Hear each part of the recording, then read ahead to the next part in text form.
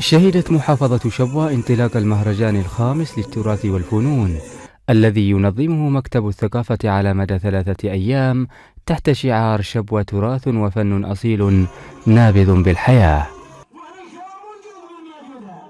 استهلت الفعالية بلوحة افتتاحية زاخرة بالحياة أقيمت على أرضية ملعب لوسيل في مدينة عتق حيث تجسدت روح المهرجان بعرض كرنفالي مذهل أضفى طابعا فنيا فريدا.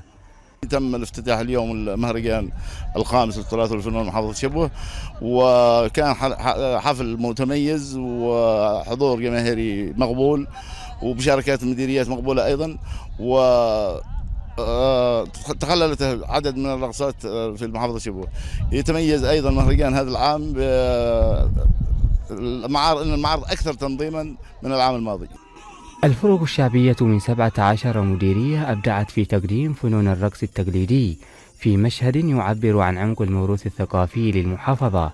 وبرزت الزوامل الشعبية بأصواتها الجماعية المميزة تروي تراثا متجذرا في تاريخ شبوة كما أذهلت فرقتا الهجان والخيال الحضور بعروض مبهرة استعرضت مهارات الفروسية مما أضفى على الفعالية رونقا خاصا.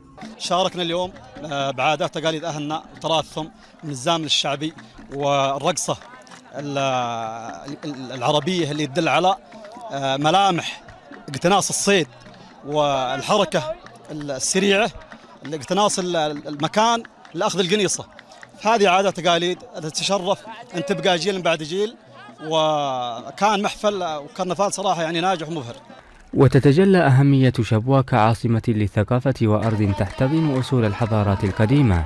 فقد قامت على ترابها ثلاث ممالك عظيمة وهو ما يجعل العناية بتراثها إرثا ثقافيا لا يستهان به.